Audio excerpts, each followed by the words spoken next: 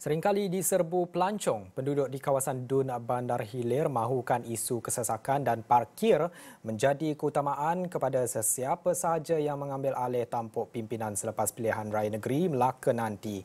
Kumpulan peniaga kraftangan di Medan Samudra di Bandar Hilir mengakui pendapatan mereka bergantung kepada kedatangan pelancong tidak kira tempatan mahupun luar negara. Tersepit dengan penularan pandemik COVID-19 sehinggakan perniagaan mereka terpaksa ditutup untuk tempoh yang panjang. Mereka lega apabila kerajaan membuka semula pintu sempadan bagi membolehkan aktiviti rentas negeri. Namun mereka terkilan apabila isu kesesakan di kawasan tumpuan pelancong itu ibarat tidak berkesudahan meskipun pelbagai janji telah ditabur oleh pelbagai kerajaan sebelum ini. Lebih-lebih lagi melibatkan soal ruang parkir kerana isu itu juga menjadi antara faktor yang menjejaskan perniagaan mereka memandangkan ada pelancong mengambil sikap malas singgah ekoran ruang parkir yang terhad. Perubahan yang perlu dilakukan di sini tentang parking. Parking memang tak ada tempat parking. Bila pelancong dah ramai, parking tak ada. Jadi banyak yang kena saman. Bila dah kena saman, dia orang kurang datang sini nanti. Dia orang akan pergi ke tempat lain. Memanglah parking ni tempatnya ni apa kecil kan tahat ni parking masalah tu lah. Ha. Kalau tambah dia buatkan parking bawah tanah ke ataupun parking tingkat atas ke macam Lumpur kan. Ha, macam tu okey lagi lah.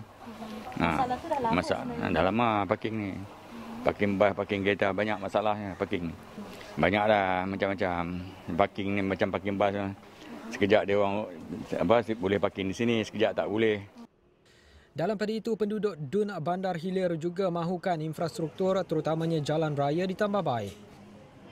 Itu dah kira macam kira uh, negara uh, Melaka ni Melaka bersejarah kan banyak pelawat pelancong masuk sini itu pasal jam tapi bagi aku jalan raya dia tak memuaskan lah.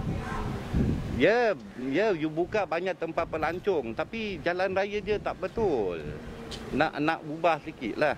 Atau ma, ma, infrastruktur dia tak tak nak nak nak elokkan lah. Akan mesti bertambah baik lah. Supaya jam dia macam ni, ha, macam ni di Bali ni satu minggu ni memang akan jam. Memang akan jam. Susah untuk uh, rakyat, rakyat Melaka nak bergerak ke sini ke sana lah. Harap uh, boleh yang apa tu? COVID-19 ni boleh cepat lepas lah. Ha, jangan terlalu lama. Sebab kita pun dalam hidup ni pun susah sikit. Ha, meniaga pun slow-slow sikit lah. Sebab tak ada pelancong datang ke Melaka kan. Macam dulu ada pelancong dari China. Dia orang dapat datang macam cuti sekolah. Tapi sekarang sudah tak boleh datang lah.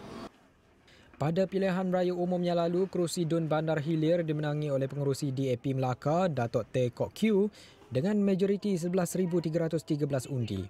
Mengikut data Suruhanjaya Pilihan Raya, seramai 19,909 penduduk di kawasan Dun itu layak mengundi dengan pecahan 48.37% lelaki.